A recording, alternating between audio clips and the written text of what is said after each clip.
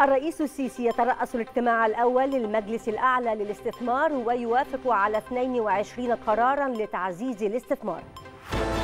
الرئيس السيسي يستقبل وزير الخارجية الموريتاني ويؤكد تطلع مصر لتفعيل أطر التعاون خاصة في القطاعات التنموية. الجيش السوداني يعلن سيطرته على مناطق بالخرطوم ويتهم قوات الدعم السريع بالاعتداء على مقرات البعثات الدبلوماسية. التاسعة مساء بتوقيت القاهرة السادسة بتوقيت جرينتش نشرة إخبارية مفصلة تأتيكم من التلفزيون المصري. أهلا بحضراتكم.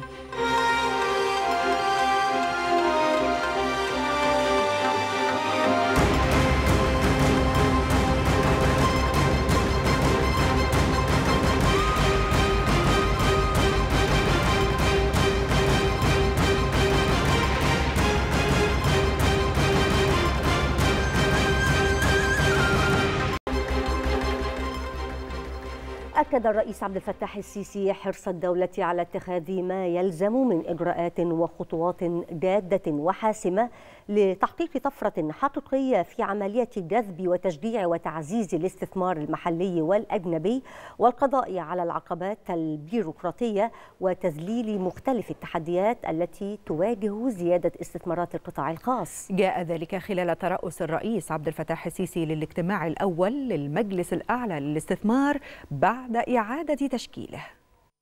ترأس السيد الرئيس عبد الفتاح السيسي الاجتماع الأول للمجلس الأعلى للاستثمار بعد إعادة تشكيله وذلك بحضور الدكتور مصطفى مدبولي رئيس مجلس الوزراء والسيد حسن عبد الله محافظ البنك المركزي والسادة الوزراء والمسؤولين وممثلي القطاع الخاص من أعضاء المجلس. وفي مستهل الاجتماع أكد السيد الرئيس حرص الدولة على اتخاذ ما يلزم من إجراءات وخطوات جادة وحاسمة لتحقيق طفرة حقيقية في عملية جذب وتشجيع وتعزيز الاستثمار المحلي والأجنبي والقضاء على العقبات البيروقراطية وتذليل مختلف التحديات التي تواجه زيادة استثمارات القطاع الخاص بهدف بناء قاعدة إنتاجية متنوعة وتحقيق تطور اقتصادي شامل.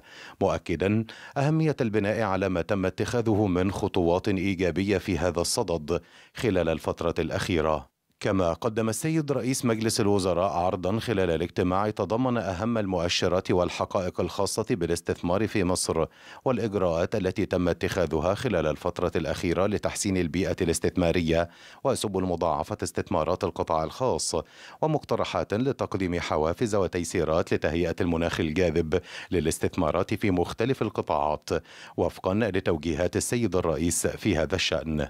وذكر مستشار أحمد فهمي المتحدث الرسمي باسم رئاسة الجمهورية أن المجلس الأعلى للاستثمار وافق خلال اجتماعه برئاسة السيد الرئيس عبد الفتاح السيسي على 22 قرارا مهما في مختلف القطاعات والمجالات الاقتصادية.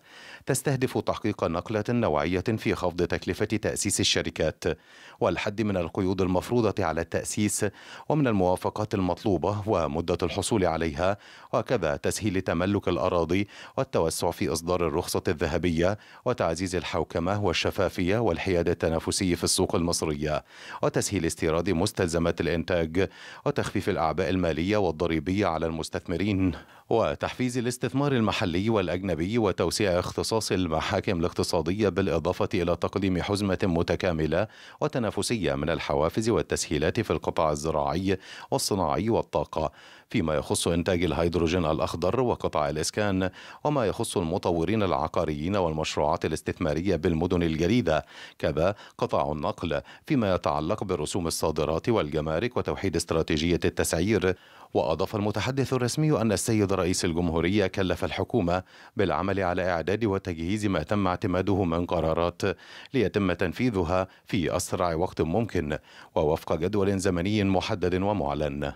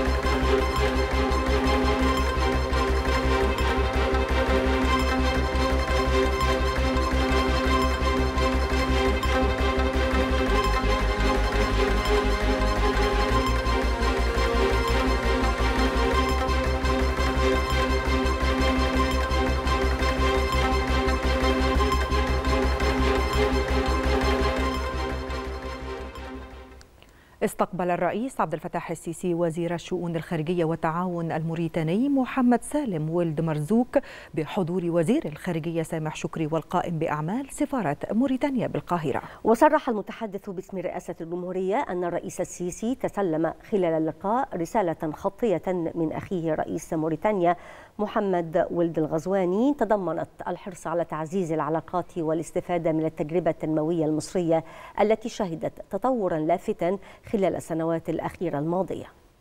استقبل السيد الرئيس عبد الفتاح السيسي السيد محمد سالم ولد مرزوق وزير الشؤون الخارجية والتعاون الموريتاني وذلك بحضور السيد سامح شكري وزير الخارجية بالإضافة إلى القائم بأعمال سفارة موريتانيا بالقاهرة. المتحدث الرسمي باسم رئاسة الجمهورية المستشار أحمد فهمي صرح بأن الوزير الموريتاني سلم خلال اللقاء رسالة خطية إلى السيد الرئيس من أخيه رئيس موريتانيا محمد ولد الغزواني تضمنت الإعراب عن تقدير موريتانيا الكبير لمصر قيادة وشعبا ولدورها الرائد على المستويين العربي والإفريقي وتأكيد الحرص على تعزيز العلاقات الثنائية بين البلدين الشقيقين في مختلف المجالات والاستفادة من التجربة التنموية المصرية التي شهدت تطورا لافتا خلال السنوات الأخيرة الماضية. من جانبه طلب السيد الرئيس نقل تحياته إلى شقيقه الرئيس الموريتاني مؤكدا تطلع مصر لتفعيل أطر التعاون المشترك بين البلدين على مختلف الأصعدة خاصة في القطاعات التنموية التي اكتسبت فيها الشركات المصرية خبرات كبيرة خلال السنوات الماضية. كذلك تقديم المساعدة في تطوير وبناء القدرات والكوادر للأشقاء في موريتانيا في كافة المجالات. وأضاف المتحدث الرسمي أن اللقاء شهد تبادل وجهات النظر بشأن عدد من القضايا العربية والإقليمية في إطار حرص الدولتين على تعزيز ودفع العمل العربي المشترك.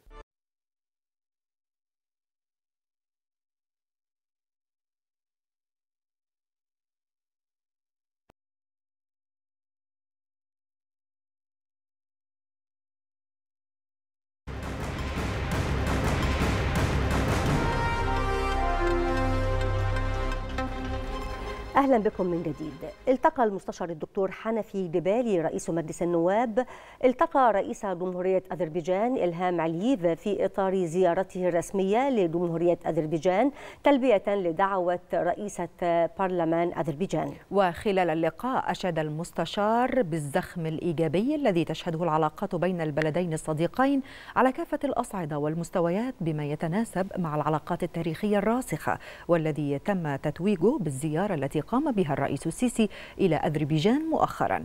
مؤكدا حرص مصر على تعزيز التعاون الثنائي مع أذربيجان في المجالات كافة من جانبه أعرب رئيس جمهورية أذربيجان عن بالغ تقديره للعلاقات التي تربط أذربيجان بمصر مؤكدا على تقديره للزيارة التي قام بها الرئيس السيسي مؤخرا إلى أذربيجان والتي أعطت دفعة نوعية للعلاقات الثنائية بين البلدين الصديقين.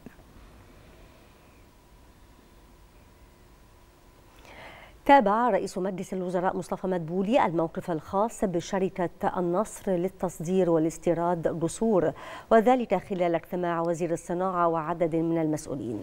وجه مدبولي ضرورة وضع خطة متكاملة لتفعيل عمل شركة جسور مع ضرورة العمل على الاستغلال الأمثل لمختلف الأصول التي تمتلكها خاصة في الخارج بما يخدم أهداف الدولة المصرية في التوسع في حجم الصادرات لا سيما للدول الأفريقية.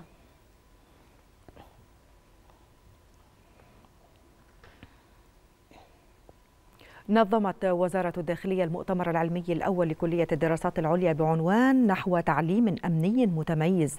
عقد المؤتمر بمركز الدراسات الأمنية والاستراتيجية بأكاديمية الشرطة.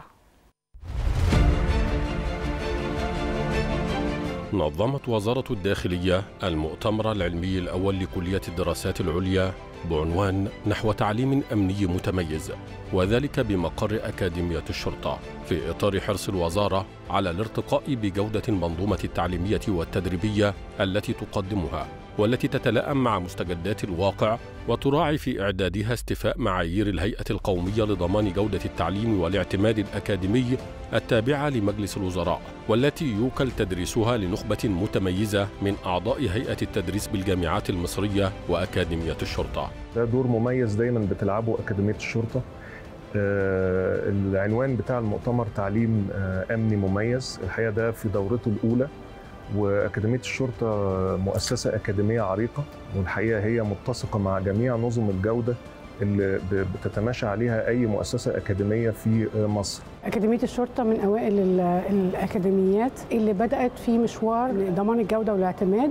الكلام ده كان من آه، تقريبا 2016 وبدأت الأكاديمية في أنها تسعى جاهدة أنها تحصل على الاعتماد من آه، الهيئة القومية لضمان جودة التعليم والاعتماد وبالفعل آه، حصلت كلية الدراسات العليا على اعتماد سنة آه، 2018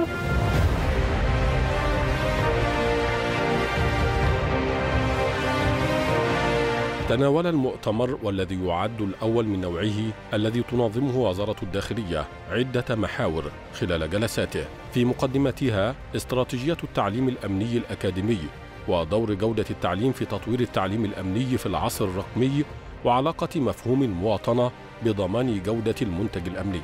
الهدف الأساسي منه هو رفع جودة التعليم ونشر ثقافة الجودة وجودة التعليم. المؤتمر النهاردة بيجمع نخبة من ال- الشخصيات والتركيز هو على آه، جودة التعليم والتعلم فيما يخص المنظومة الأمنية. يعني جودة التعليم بتؤكد على تميز العمل الأمني وده المنهج اللي بتسير عليه وزارة الداخلية.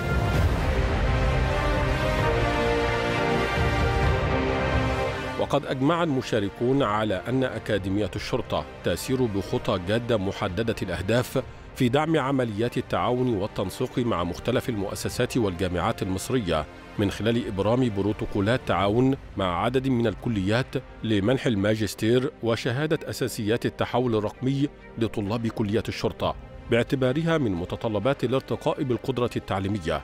لتقدم ضباطا مزودين بالعلم والمعرفة قادرين على تحقيق ما تصبو إليه الدولة. مهم جدا إن الأبعاد دي تكون واضحة. أبعاد التعددية الثقافية أبعاد الهوية الوطنية والانتماء والمواطنة. وجود مؤتمر علمي وباعتباره مؤتمر علمي أول يجمع مختلف الآراء ومختلف الأفاق لطرح الرؤى المستقبلية لآليات استشراف المستقبل في التعليم الأمني. ده آه، هيطرح هيضع كليه الدراسات العليا وهي المختصه بالماجستير والدكتوراه وعمل البحوث لأنها آه، تدخل إلى أفاق المستقبل. أثمر المؤتمر في ختام فعالياته عددا من التوصيات في مقدمتها تبني تقنيات الواقع الافتراضي لبرامج التدريب والتعليم الشرطي للارتقاء بجودته في عصر الرقمنة وتوفير التدريب المستدام طبقا للاحتياجات الأمنية والتعليمية. توفير التعليم والتدريب اللازمين للعاملين في المجال الأمني من خلال استخدام التقنيات الحديثة المتعلقة بالتحول الرقمي مع توفير حماية البيانات الشخصية والسرية بالتعليم الشرطي يأتي انعقاد هذا المؤتمر تتويجا لجهود تبذلها وزارة الداخلية لتطوير منظومة التعليم الفني وتوفير كافة المقومات اللوجستية والتكنولوجية اللازمة من أجل إعداد رجل شرطة عصري مسلحا بالعلم والتدريب لمواجهة المستجدات الأمنية.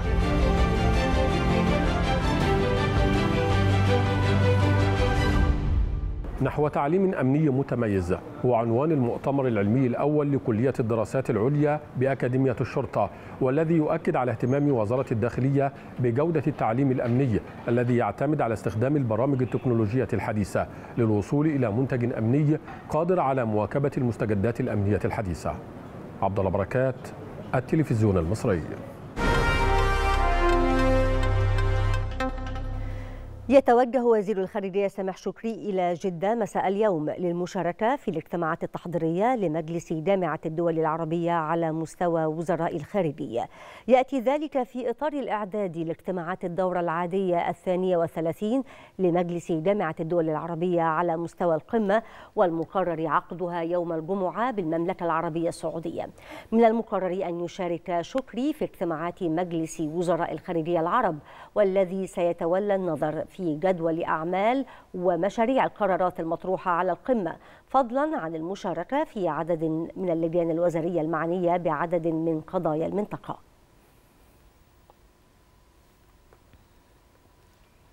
أكد وزير الخارجية سامح شكري حرص مصر على تعزيز التعاون الاقتصادي مع موريتانيا في مختلف المجالات وزيادة حجم التبادل التجاري والاستثمارات. جاء ذلك خلال لقائه مع محمد سالم ولد مرزوق وزير الشؤون الخارجية والتعاون الموريتاني في الخارج. وشدد شكري خلال اللقاء على أهمية استمرار التعاون بين البلدين في مجال مكافحة الإرهاب مشيرا إلى انفتاح مصر لتوفير الدعم الفني لموريتانيا في مختلف مختلف القطاعات الحيوية منها الصناعة والصحة والتعليم. من جانبه أعرب وزير خارجية موريتانيا عن التقدير الكبير للعلاقات الثنائية بين البلدين الشقيقين وحرص موريتانيا على استمرار دفع التعاون مع مصر وذلك في شتى المجالات.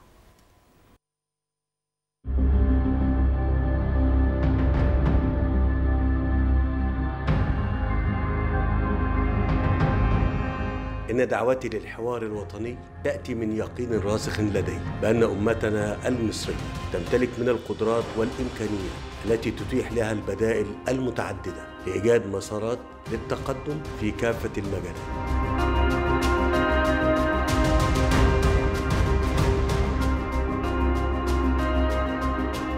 والذي أتطلع لأن يكون شاملا وفاعلا وحيويا يحتوي كافة الآراء ويجمع كل وجهات النظر ويحقق نتائج ملموسة ومدروسة تجاه كافة القضايا على جميع المستويات.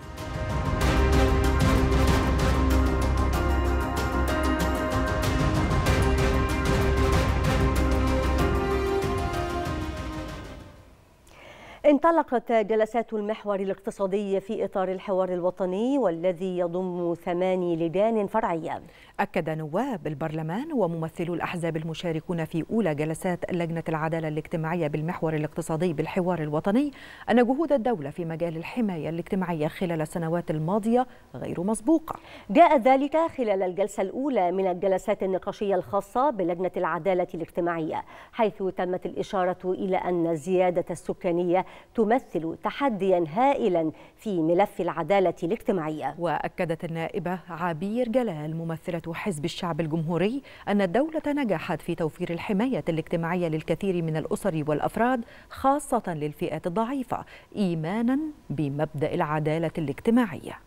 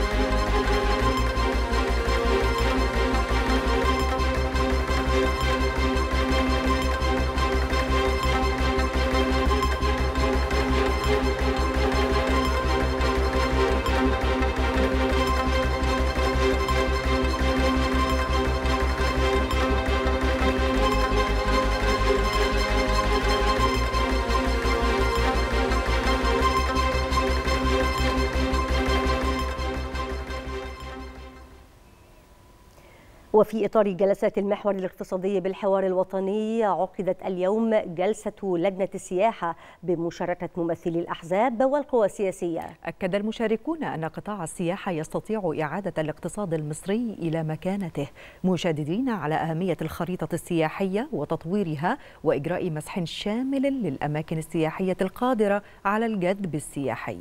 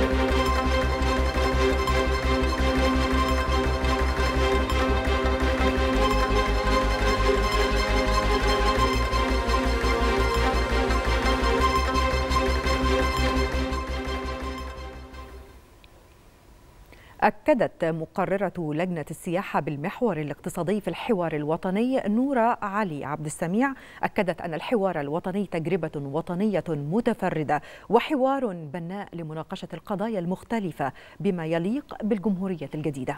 وأكدت في كلمتها خلال الجلسة الأولى من الحلقات النقاشية أكدت استهداف الوصول إلى 30 مليون سائح وتحقيق عائد بقيمة 30 مليار دولار. تماشيا مع رؤية مصر 2030 مشيرة إلى أنه يتم العمل من أجل تحقيق ذلك.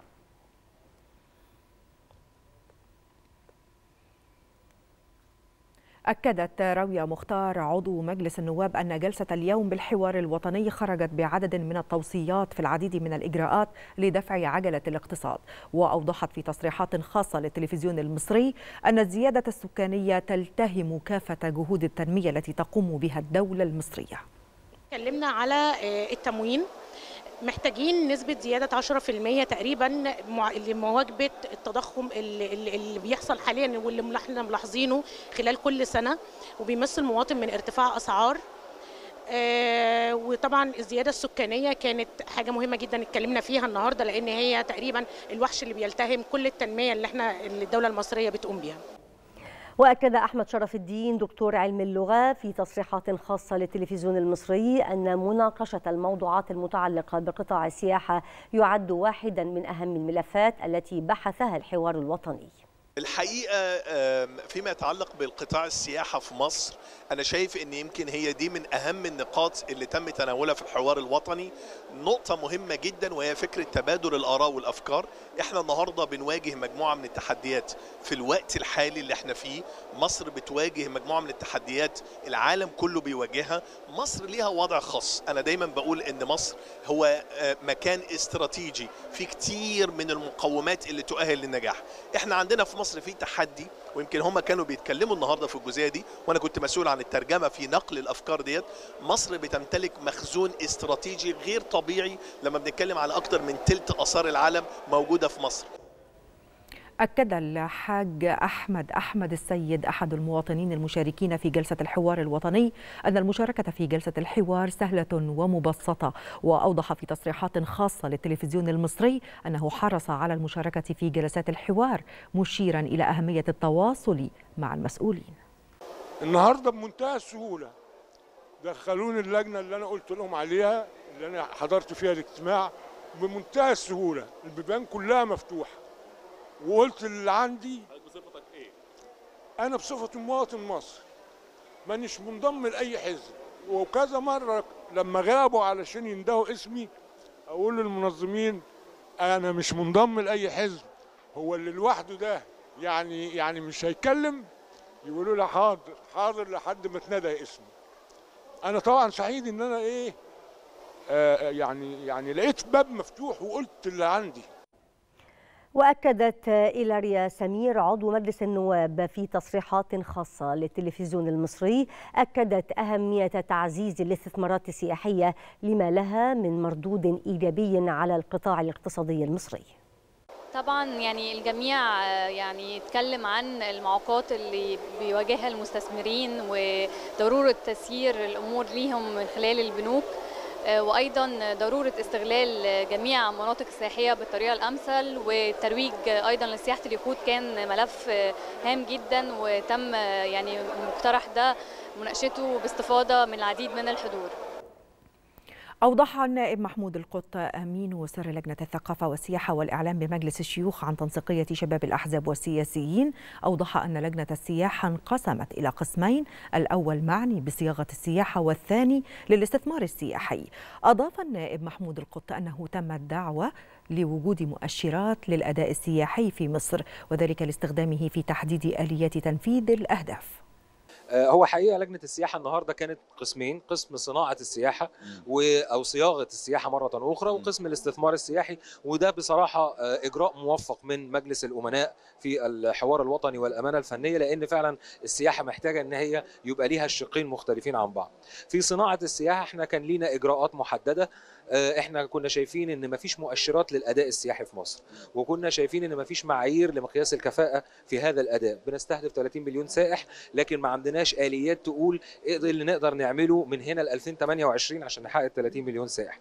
فكان اقترحنا إن إحنا يبقى عندنا وحدة لقياس مؤشر الأداء السياحي تابعة للمجلس الأعلى للسياحة اللي بيرأسه السيد رئيس الجمهورية.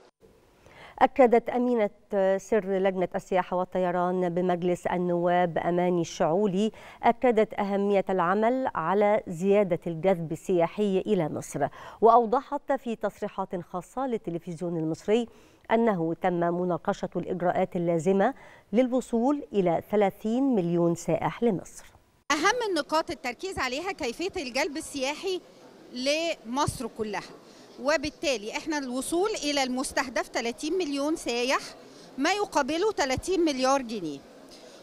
والحقيقة كان كل النقاشات منصبة على إن إحنا كيفية إن إحنا نزود عدد الغرف الفندقية علشان نوصل إلى المستهدف. لأنه طبعا ال 30 مليون سايح إحنا آه لغاية دلوقتي وصلنا ل 15 مليون سايح ودي طفرة. إحنا السنة اللي فاتت كنا وصلنا ل 11.8 في 22 حتى هذه اللحظة إحنا واصلين ل 15 مليون. فإحنا عندنا طفرة وده طبعا بمجهودات الوزارة ومجهودات الترويج والتنشيط إنه اشتغلوا على قدم وساق عشان نخرج من الكبوة اللي كنا فيها اللي هي وقت كورونا وكان التوقف حاجة اجتاحت العالم كله فحصل توقف شديد للسياحة.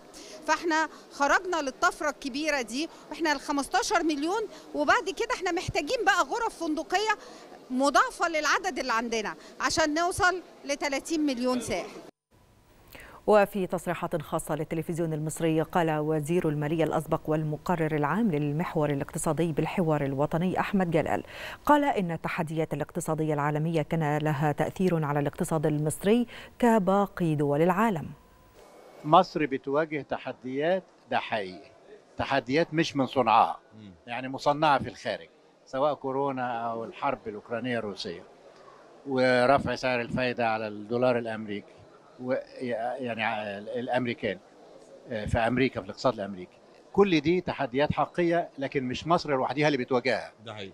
كل دول العالم بتواجه هذا وأنا ما أقدرش أغيرها. أنا وحضرتك ما نقدرش نروح نوقف الحرب بين أوكرانيا وروسيا ممكن طبعا نناقش ونتفاوض ونساعد ونشارك إنما أنا ما أقدرش أوقفها. فإحنا في الاقتصاد عندنا بنفرق بين نوعين من التحديات. التحديات اللي تحت سيطرتي والتحديات اللي أنا بملك حرية الحركة فيها exogenous و endogenous فاللي بره دي أنا باخدها كما لو. كما كمعطى وأتعامل بقى مع تحت ما هو سيطرتي أكدت رحمة حسن الباحثة بالمركز المصري للفكر والدراسات الاستراتيجية أن المركز تقدم بدراسة للحوار الوطني حول الاستثمار السياحي وأوضحت في تصريحات خاصة للتلفزيون المصري أن الدراسة تتوافق مع الخطة الاستثمارية للدولة للنهوض بقطاع السياحة. فكرة إن إحنا نعمل حوار وطني من الأساس أو إن إحنا نسمع كافة الجهات المعنية أو الفئات المعنية بقطاع السياحة دي خطوة مهمة إن إحنا إن الدولة لسه بتسمع وبتسمع المقترحات والآراء المختلفة. آه كمان لما تطلع من ناس صناع السياحة فأكيد النتيجة هتطلع يمكن تطبيقها على أرض الواقع. إحنا بالنسبة لنا كمركز مصري إحنا كنا قايمين على دراسة متعلقة بالاستثمار السياحي وإن إحنا إزاي إيه مصر بتمتلك إيه دلوقتي وإيه المأمول ان إحنا عايزين نوصل له وإيه الخطة الاستثمارية اللي إحنا المفروض نوصل لها عشان نوصل نحقق الاستراتيجية العامة للدولة اللي هي 30 مليون سايح. فقسمنا الدراسة بتاعتنا لعدد من النقاط الطاقه الطاقة الفندقية أو البنية التحتية وكذلك الطيران كمان قدمنا بعض المقترحات الخاصة بالبنية التشريعية. ينضم إلينا مفاد تلفزيون المصري كريم بيبرس من مقر انعقاد جلسات الحوار الوطني. أهلا بك كريم. يعني الملف الخاص بالمحور الاقتصادي به الكثير من التفاصيل اطلعنا على أهم النقاط التي تمت مناقشتها اليوم. الحوار الوطني في انطلاقاته الثانية ولكن الأولى في المحور الاقتصادي. انتهى اليوم الأول في المحور الاقتصادي والثاني في الحوار الوطني منذ انطلاقه الذي ناقش ملفين هامين جدا وهو الحماية الاجتماعية والعدالة الاجتماعية بالإضافة للسياحة. أما بالنسبة للحماية الاجتماعية والعدالة الاجتماعية فتم مناقشة العديد من القوانين والتشريعات التي من الممكن أن تخفف وطأة الأزمة الاقتصادية على المواطن بشكل عام. ولكن تم التحديد أكثر فيما يتعلق بالتموين وتوفره الدولة للمواطنين وكان هناك مقترحات بزيادة نسبة التموين بما يقرب من 10% لتقليل الفجوة بين يعني ربما الأزمة الاقتصادية وأيضا ما يواجهه المواطن بشكل عام. هذا فيما يتعلق ببعض التوصيات التي خرجت من لجنة أو محور الحماية الاجتماعية والعدالة الاجتماعية بالإضافة بالطبع للعدالة الاجتماعية فيما يتعلق بالتوزيع الآمن بشكل عام وأيضا فكرة حصول المواطنين على الحقوق فيما يتعلق بالتعليم والصحة ومنها أيضا ما حدث في تكافل وكرامة وكيفية تطوير هذه الآليات والتشريعات الخاصة بها. أما بالنسبة للسياحة فكان هناك نقاش كبير وأيضا خرجوا بتوصيات فيما يتعلق بالتشريعات الخاصة بجذب الاستثمارات السياحية وأيضا تسهيل المعوقات التي من الممكن أن تواجه المستثمرين في أيضا الملف السياحي وأيضا آليات عرض والتسويق الخاصة بالملف السياحي. إما يكون تسويق جديد عن طريق الإنترنت أو حتى التسويق التقليدي المتعارف عليه وزيادة آليات جذب السياحة هنا في مصر. كانت هذه ربما نبذة عن ما خرج إليه اليوم الثاني والأول الثاني في الحوار الوطني والأول في المحور الاقتصادي ببعض التوصيات كما ذكرنا. ولكن المميز اليوم ليس فقط المشاركة الحزبية المتعارف عليها ومشاركة الخبراء وأيضا مشاركة المجتمع المدني ولكن المميز وأيضا مشاركة المواطنين حيث شارك أحد المواطنين جاء خصيصا من محافظة البحيرة وهو مواطن تعدى السبعين عاما 73 عاما. جاء ليشارك برأيه في أيضا بعض الحلول ومنها أيضا يعني أنه قال أنه يريد أن يفتح باب للنقاش ويقلل الفجوة بين المواطن والمسؤولين يفتح باب للنقاش سواء كان من بداية من الوحدة المحلية ووصولا حتى للوزراء وحتى رئيس الجمهورية إنه يبحث عن آلية جديدة للتواصل المباشر بين المواطنين وأيضا يعني أصحاب القرار أو صناع القرار. ولكن المميز كما ذكرنا هو مشاركته المباشرة أنه جاء خصيصا ودخل وكان هنا واعرب عن يعني سعادته بهذه المساحة التي حصل عليها سواء هو أو حتى المشاركين معه داخل هذا الحوار ربما كان هذه كما ذكرنا نبذة عن ما عن ما حدث في اليوم الثاني للحوار الوطني واليوم الأول للمحور الاقتصادي.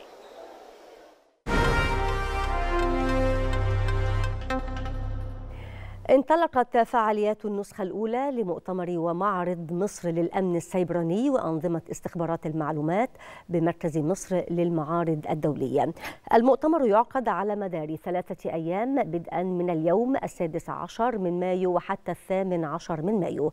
أكد رئيس المكتب التنفيذي للمجلس الأعلى للأمن السيبراني أحمد عبد الحافظ خلال الكلمة الافتتاحية أكد أن التحول الرقمي هو جوهر تنمية الدولة الحديثة. الحدث ده يأتي طبعا لتسليط الضوء على أهمية الأمن السيبراني في عصر التحول الرقمي اللي بنعيشه.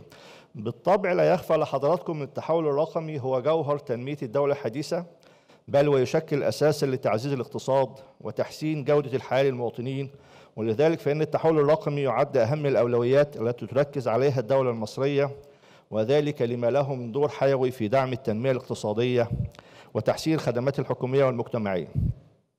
ومع انطلاق الجمهورية الجديدة نحو عالم التحول الرقمي وفي ظل بناء مصر لقدراتها الرقمية وتطور بيئة الأعمال ووضع أسس مجتمع المعرفة وإماما منها باعتبار التقنيات الحديثة بوابة للازدهار الاقتصادي عملت الدولة المصرية بتوجيهات من فخامة السيد الرئيس الجمهورية عبد الفتاح السيسي على توفير كافة العناصر الداعمة لعملية التحول الرقمي من خلال مشروعات رفع كفاءة البنية المعلوماتية الرقمية بما يتيح نفاذ أكبر للمعلومات ويضمن جودة واستمرارية خدمات الاتصالات المقدمة للمواطنين. تحت رعاية رئاسة مجلس الوزراء انطلقت فعاليات مؤتمر ومعرض مصر للأمن السيبراني وأنظمة استخبارات المعلومات على مدار ثلاثة أيام في مركز مصر للمعارض الدولية وهو الحدث المتخصص الأول في مصر والذي يهدف إلى الوقوف على أحدث تطورات ملف الأمن السيبراني وأمن المعلومات بالإضافة لتسليط الضوء على مستجدات هذا القطاع في مصر والشرق الأوسط وشمال أفريقيا والعالم. في سي دي إس بنتناول أحد الملفات اللي في غاية الأهمية بالنسبة لأغلب دول العالم هو ملف الأمن السيبراني وتأمين البنية التحتية المعلوماتية سواء للجهات أو حتى على مستوى الوزارات الحكومية والمؤسسات الحكومية والكيانات الاقتصادية والقطاع الخاص وحتى مستوى الفرد. الشيء الأساسي إنه هذا المعرض يشتغل بنفس الشغل اللي إحنا نشتغله اللي هو التوعية. فهو فكرة إنه إحنا ننشر التوعية ونوصل للناس ونوصل للمستخدمين بشكل أكبر بحيث إنه إحنا نوريهم أهمية الأمن السبراني وإيش المضار والمنافع اللي ممكن تستخدمها تستفيدها كمستخدم أو حتى كوزارات أو حتى قطاعات خاصة أو حكومية. أجندة أعمال المؤتمر تزخر بالعديد من المحاور ومن بينها محور الصمود في مواجهة الهجمات السبرانية كضرورة استراتيجية للدول وكيفية التعامل مع الأمن السبراني وجهود بعض الدول في تحسين البنية القانونية للفضاء السبراني. والتعامل مع حالات التهديدات السبرانية المتطورة في إفريقيا. المؤتمر إحنا شايفين إن هو طبعا حاجة مشرفة جدا بالذات تواجد نخبة كبيرة جدا من الشركات العاملة وبالنسبة للأشخاص الخبراء من جميع دول العالم سواء العالم العربي أو العالم الأوروبي. وبالتالي هيبقى هيكون في أكتر من تطبيق وممارسة وتبادل خبرات بالنسبة للمؤتمر لفعاليات المؤتمر. والتوصيات. طبعا إحنا في الفترة الأخيرة التكنولوجيا أصبحت جزء لا يتجزأ من حياتنا و... وشفنا جهود ملموسة من الدولة في في توجهها لل... للرقمنة والتحول الرقمي. وعشان كده مهم جدا إننا نولي الاهتمام بمجال الأمن السيبراني أو إننا نحمي المنظومات الجديدة اللي إحنا بنبنيها. فالمؤتمر هيسلط الضوء على التقنيات المختلفة والتدريبات المختلفة وبناء القدرات لأنه زي ما التكنولوجيا مهمة العنصر البشري كمان غاية في الأهمية. فإزاي نقدر نعلن عن التقنيات والبرامج الخاصة بالأمن السيبراني اللي تقدر تحمي البيانات وتحمي المنظومات المختلفة للتحول الرقمي. يأتي المؤتمر والمعرض تماشيا مع رؤية مصر والقيادة السياسية لدعم وتعزيز قدرات الأمن السيبراني ورسم ملامح مستقبل الأمن السيبراني في مصر وذلك لتأمين عملية التحول الرقمي والحفاظ على أمن المعلومات طبقا لخطط الدولة 2030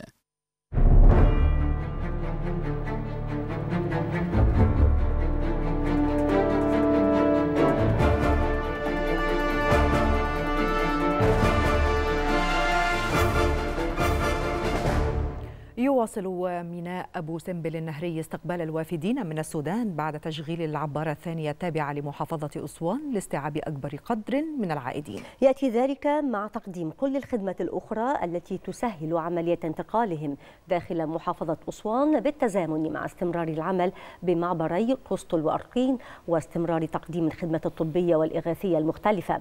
كما جهزت الحكومة كميات من المواد الغذائية لتقديمها للوافدين في معبر معبري قسطل وأرقين.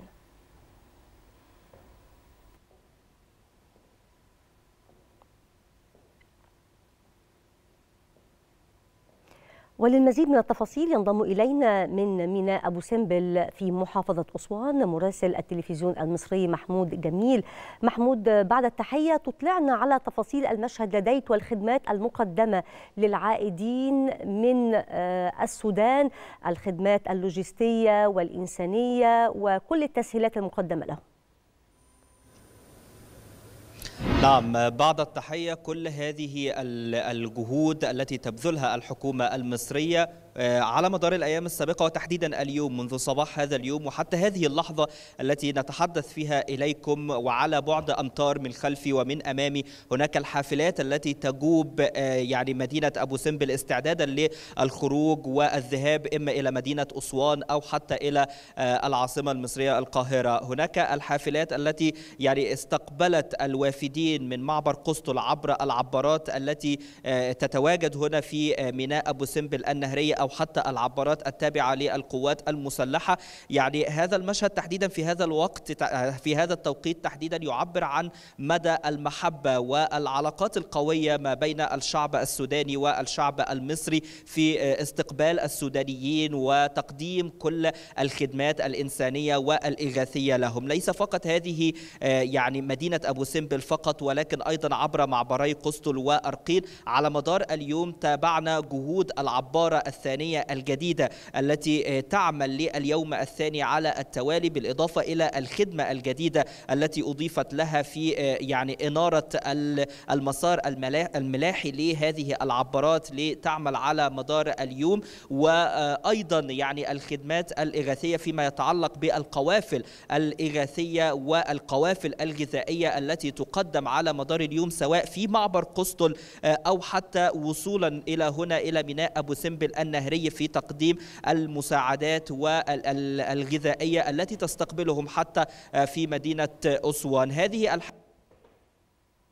هنا تنقل السودانيين إلى حيث يعني يشاءون من المحافظات أو المدن المختلفة. وكل هذه العمليات النقل من قسطل عبر ميناء أبو سمبل النهري في تأمين كامل. ليس فقط هذه المساعدات التي تقدم إلى السودانيين عبر المعبر ولكن أيضا المساعدات التي تصل إلى دولة السودان الشقيق والتي يعني تمت اليوم من خلال طائرتين عسكريتين. عسكريتين محملتين بأطنان من الشحنات الطبية المهداة من وزارة الصحة المصرية تنفيذا لتوجيهات الرئيس عبد الفتاح السيسي بضرورة الوقوف إلى شعب السودان الشقيق في أزمته وتقديم كل العون والمساعدة لهم وتأكيدا على الروابط والعلاقات الكبرى التي تجمع الشعبين الشقيقين. تحديدا مدينة أبو سمبل توافرت فيها كل الخدمات اللوجستية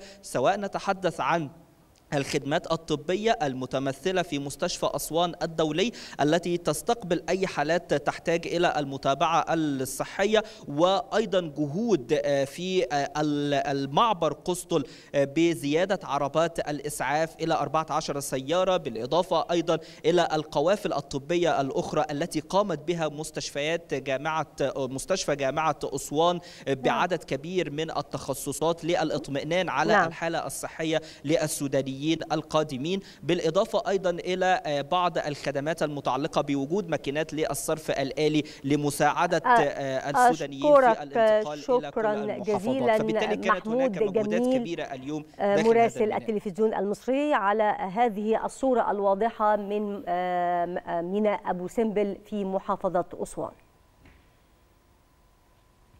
أعلن الجيش السوداني سيطرته على عدة مناطق في الخرطوم.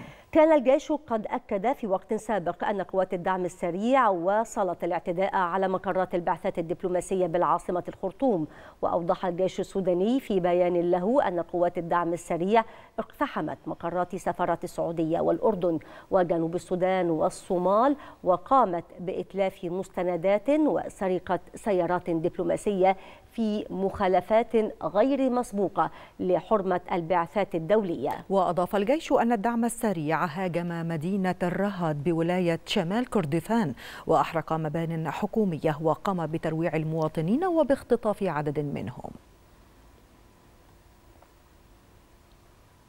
أعلنت اللجنة التمهيدية لنقابة أطباء السودان أن حصيلة ضحايا الاشتباكات بين الجيش السوداني وقوات الدعم السريع خلال اليومين الماضيين فقط بلغت 2080 قتيلا وأكثر من 160 مصابة. وأوضحت اللجنة التمهيدية أن إجمالي الضحايا منذ بدء الاشتباكات وصل إلى 822 شخصا وأكثر من 3200 مصاب مشيرة إلى وجود العديد من الإصابات والوفيات المستشفيات غير مشمولة في هذا الحصر ولم تتمكن من الوصول للمستشفيات لصعوبة التنقل بسبب الوضع الأمني.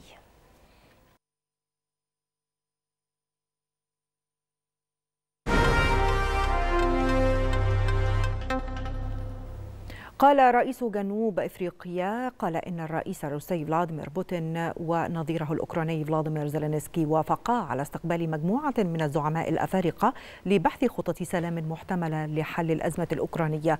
أوضح رئيس جنوب إفريقيا أن مناقشات أجراها مع الرئيسين أظهرت استعدادهما لاستقبال الزعماء الأفارقة وبإجراء مناقشة حول سبل إنهاء الأزمة مشيرا إلى أن خطط السلام مدعومة أيضا من دول إفريقية من بينها بينها مصر والسنغال وأوغندا. وأضاف أن الأمين العام للأمم المتحدة أنطونيو غوتيريش والولايات المتحدة وبريطانيا على علم بهذه المبادرة. قالت الرئاسة الروسية الكرملين إنه لا تزال هناك أسئلة بخصوص الشق الخاص بروسيا في اتفاق تصدير الحبوب عبر مواني البحر الأسود. وأوضح المتحدث باسم الكرملين أنه يتعين على موسكو اتخاذ قرار بشأن تمديد الاتفاق مشيرا إلى أن المناقشات حول الأمر مستمرة.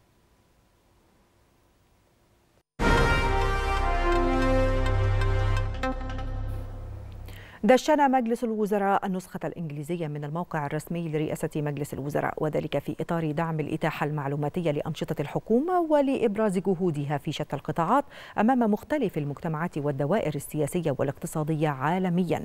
أكد رئيس مجلس الوزراء مصطفى مدبولي أن إطلاق النسخة الإنجليزية من الموقع الرسمي لرئاسة مجلس الوزراء يأتي استكمالا للجهود الجارية لتيسير آليات وقنوات التواصل بين الحكومة ومختلف القطاعات الجماهيرية.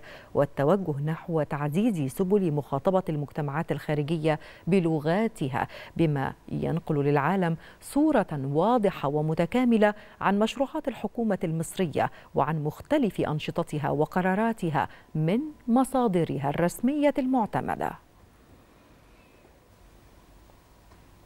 نفى المركز الإعلامي لمجلس الوزراء ما تردد من أنباء بشأن انتشار بطيخ مسرطن بمختلف الأسواق على مستوى الجمهورية وقام المركز بالتواصل مع وزارة الزراعة والتي نفت تلك الأنباء مؤكدة أن كافة المنتجات والسلع الزراعية المتداولة بالأسواق بما فيها البطيخ سليمة تماما وآمنة وخالية من أي متبقيات للمبيدات أو الكيماويات.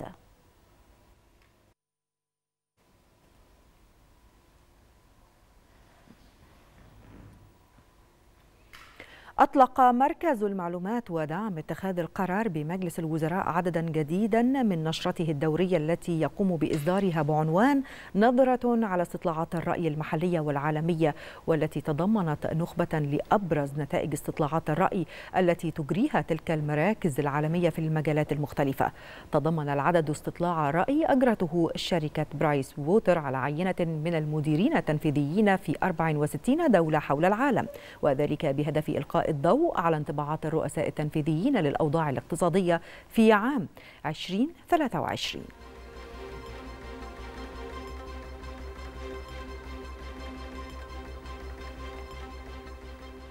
والآن مشاهدينا الكرام إلى نافذة اقتصادية في نشرتنا. والتفاصيل مع ليلى عمر. تفضلي ليلى. شكرا إلهام نمر ونهى توفيق ونتابع معكم الآن أهم وأبرز الأنباء الاقتصادية في هذه النشرة.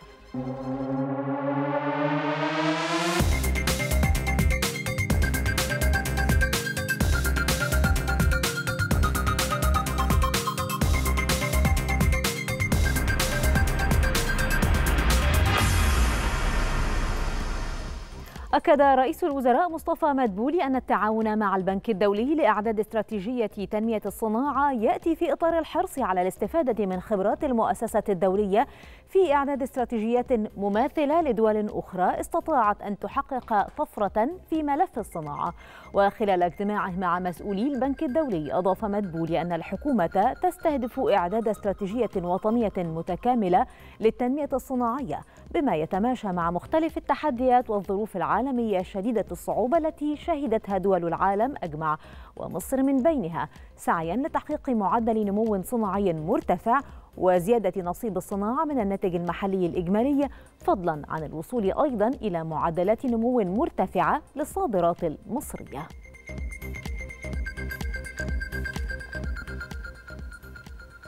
أكد وزير البترول طارق الملا على أن ما يشهده قطاع التعدين من تطورات بدأت مع تعديل قانون الثروة المعدنية ولائحته التنفيذية وآليات الاستثمار واجتذاب شركات عالمية للعمل بمصر.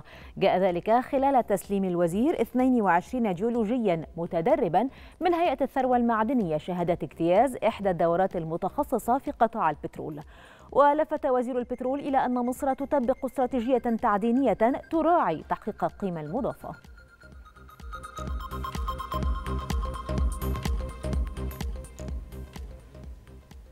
شهدت محافظة شمال سيناء إجراء قرعة علنية على 120 وحدة سكنية في العريش تم تخصيصها للمنقولين من رفح والشيخ زويد.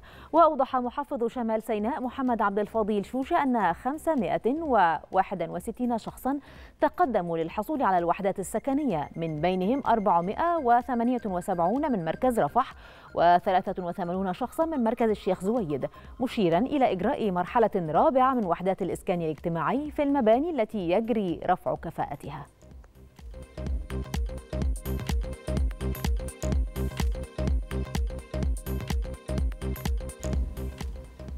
في أسواق البترول العالمية انخفضت العقود الآجلة للنفط بعدما ألغت بيانات اقتصادية صينية ضعيفة أثر رفع وكالة الطاقة الدولية توقعاتها لنمو الطلب العالمي. وتراجعت العقود الآجلة لخام برنت بنسبة 44 من المئة في المئة لتصل إلى 74 دولار و90 سنتا للبرميل. كما انخفض خام غرب تكساس الوسيط الأمريكي بنسبة 37 من المئة في المئة مسجلا 70 دولار و85 سنتا للبرميل. كما تراجعت أسعار المازوت عالميا بنسبة 84 من المئة في المئة لتصل إلى دولارين و35 سنتا للبرميل. في المقابل صعدت أسعار الغاز الطبيعي بنسبة 67 من المئة في المئة لتسجل دولارين و39 سنتا لكل مليون وحدة حرارية بريطانية. أكدت وكالة الطاقة الدولية أن تراجع أسعار النفط لأسابيع بسبب مخاوف من ركود محتمل يتعارض مع توقعات بشح الإمدادات وارتفاع الطلب في وقت لاحق من العام.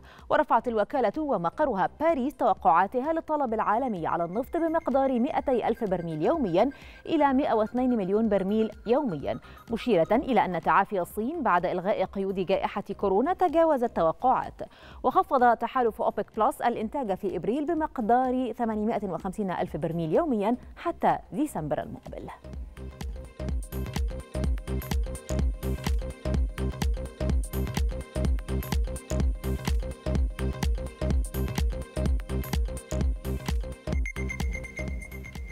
ختام جولتنا الاقتصادية عودة مرة أخرى لإلهام ونهى لاستكمال النشرة إليكم ومن جديد. شكرا جزيلا لك ليلى. تظاهر عشرات النشطاء المناهضين للطاقة النووية لمطالبة اليابان بإلغاء خطتها بإطلاق مياه معالجة تشوبها إشعاعات من محطة فوكوشيما دايتشي النووية في البحر وهي العملية التي قد تبدأ هذا الصيف. قال النشطاء المشاركون إنه حتى بعد معالجة هذه المياه تتبقى بعض الإشعاعات. مؤكدين أن هذا مشروع يمتد تأثيره إلى عقود وإلى أجيال عديدة.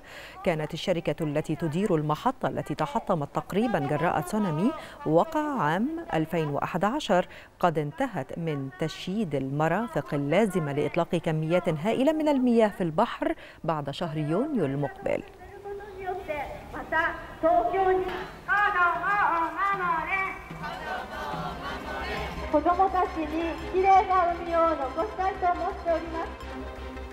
انطلقت فعاليات الدورة السادسة والسبعين من مهرجان كان السينمائي وسط منافسة قوية بين 21 فيلما على السعفة الذهبية. وتأتي هذه الدورة الجديدة من مهرجان كان وسط تهديدات من نقابة الاتحاد العمالي العام والتي أعلنت عن عزمها القيام بتحركات من الممكن أن تعوق فعاليات المهرجان وذلك في إطار معارضتها لمشروع قانون التقاعد الجديد في فرنسا. الآن مشاهدينا الكرام وقفة مع أخبار الطقس والأحوال الجوية. عودة مرة ثالثة وأخيرة إلى ليلى تفضلي. شكرا لكما ونتابع أهم وآخر أخبار الطقس للغد.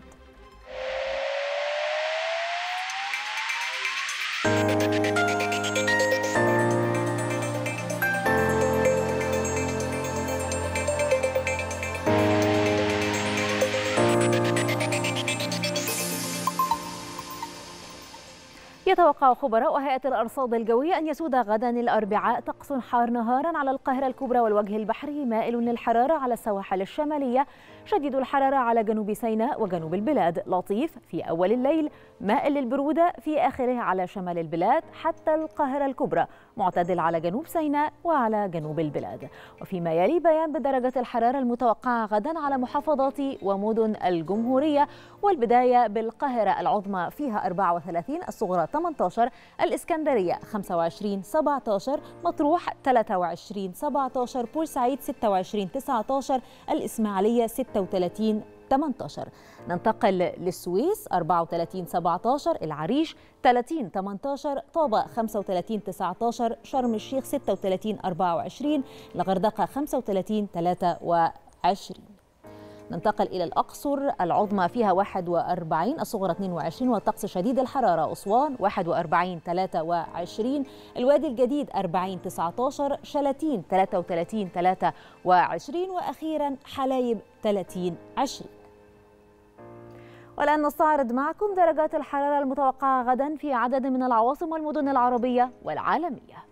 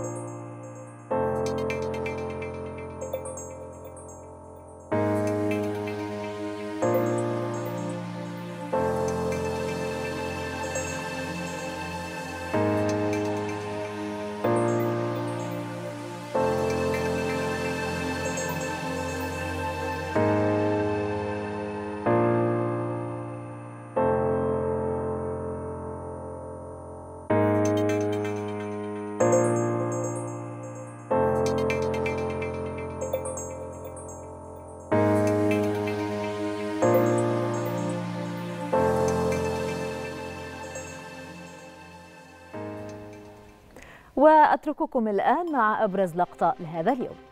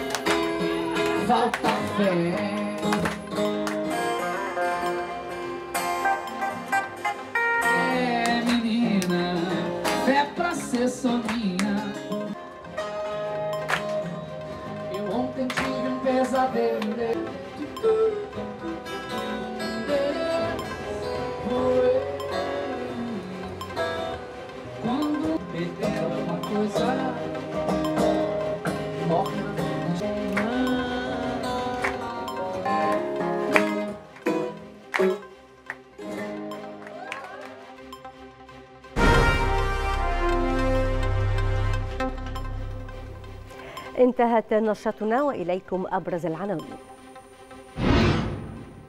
الرئيس السيسي يترأس الاجتماع الأول للمجلس الأعلى للاستثمار ويوافق على 22 قراراً لتعزيز الاستثمار. الرئيس السيسي يستقبل وزير الخارجية الموريتاني ويؤكد تطلع مصر لتفعيل أطر التعاون خاصة في القطاعات التنموية. الجيش السوداني يعلن سيطرته على مناطق بالخرطوم ويتهم قوات الدعم السريع بالاعتداء على مقرات البعثات الدبلوماسية.